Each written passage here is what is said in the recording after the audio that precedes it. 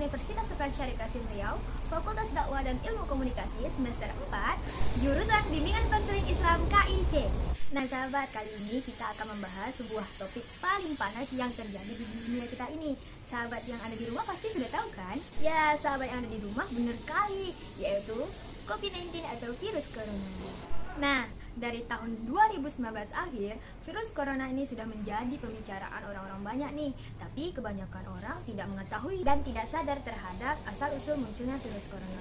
Nah, kali ini kita akan membahas tentang asal-usul virus corona atau COVID-19 ada dua pendapat yang menjelaskan tentang asal-usul munculnya virus corona nih. Dan dari beberapa penjelasan yang saya dapat bahwa asal-usul munculnya virus corona ini berasal dari hewan sahabat. Hewannya itu seperti kelelawar, tikus, dan juga ular nih. Tapi baru-baru ini ada muncul bahwasannya terenggiling juga ikut andil sebagai salah satu munculnya virus corona nih sahabat. Gue mengatakan bahwa virus ini berasal dari laboratorium nih sahabat. Kenapa begitu?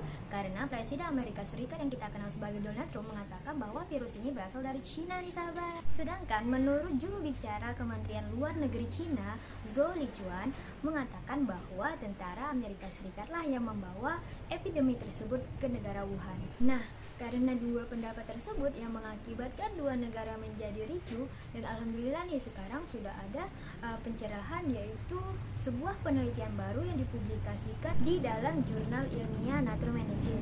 Nah, penelitian ini menjelaskan kepada kita semua bahwasanya tidak ada buktinya bahwa virus corona ini diciptakan oleh manusia. Dan kemudian akhirnya peneliti ini mengurutkan genom virus ini nih dan juga membandingkan virus ini dengan virus SARS dan MERS. Menurut San Lulu mengatakan bahwa SARS dan MERS berasal dari kelelawar, jadi tidak mungkin virus corona berasal dari ciptaan manusia yang dibuat di dalam laboratorium nih sahabat. Nah, dapat saya simpulkan bahwa virus corona ini berasal dari alam nih sahabat.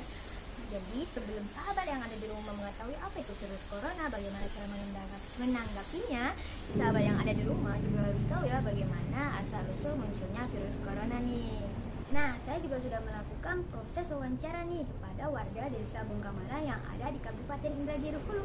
Sahabat yang ada di rumah pasti penasaran kan bagaimana pendapat warga desa ini. Nah, jangan skip videonya ya, tonton terus sampai habis dan ikuti selalu jika nilai. Apa tanggapan Bapak terkait wabah COVID-19 dari segi penduduk?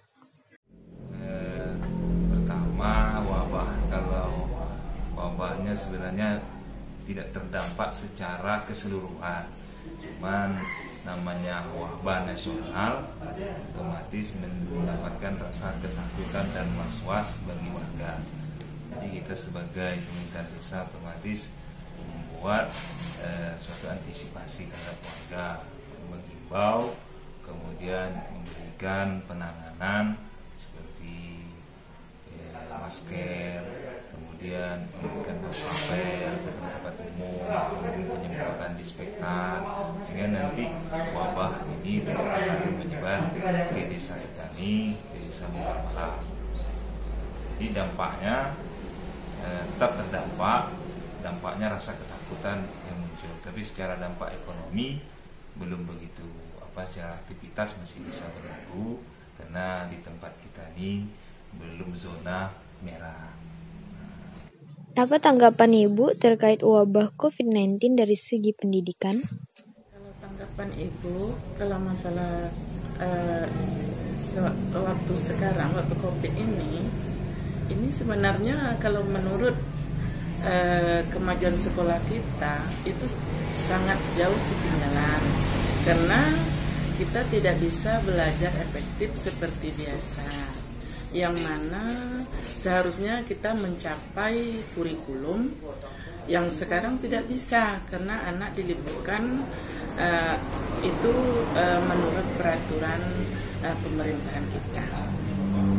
Itu kalau menurut itu tapi kalau umpamanya ada kebijakan-kebijakan di sekolah itu uh, kita ada belajar daring uh, melalui WA ada kebijakan guru itu yang mengantarkan eh, tugas-tugas uh, di rumah kemudian dikumpulkan untuk mengambil nilai-nilai untuk ujian. Apa tanggapan Bapak terkait COVID-19 dari segi perekonomian? dampaknya jelas ya ada masalahnya kan dampak wabah ini kan wabah ini lantaran aktivitas masyarakatnya terhambat. Nah itu. Masalahnya eh, terhambatnya eh, saling ibaratnya tidak seperti biasa bebas. Kalau ibaratnya kalau tidak ada mena apa eh, wabah covid-19 ini kan eh, masyarakat Malang bebas membuat apa pun yang diizin nah, kan itu.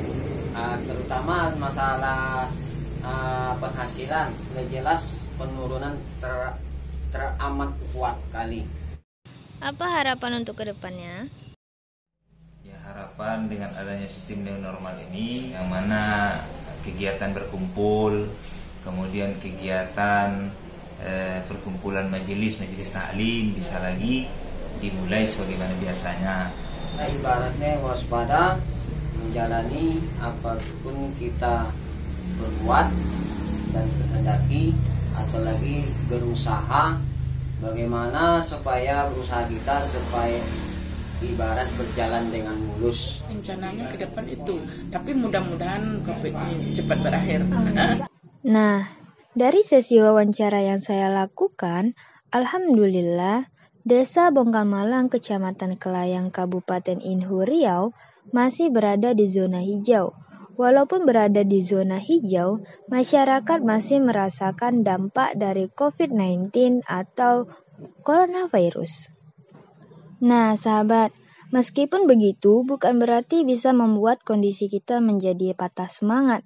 Menyerah dengan keadaan bukan berarti menjadi pilihan yang terbaik ya.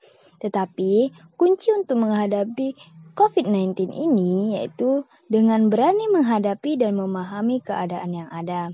Menghadapi COVID-19 bukan berarti melawan dengan senjata ya.